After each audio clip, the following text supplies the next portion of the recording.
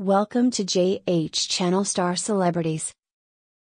Song Hye Kyo shows love for Park Hyung Sik and Jeon So Nee on set of their new drama.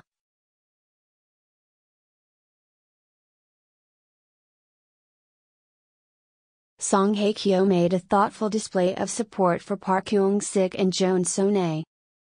On July 8, Jeon So Nee revealed on Instagram stories that Song Hye Kyo had sent a coffee truck to the set of her and Park Hyung Sik's upcoming drama Youth Climb the Barrier, literal translation.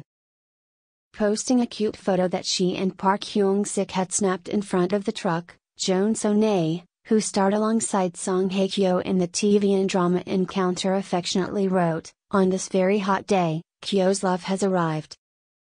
The banner on the truck sent by Song Hye Kyo reads, cheering on the pretty So Nee and the handsome Hyung Sik. Youth climb the barrier, find strength on this hot day. From Song Hye Kyo.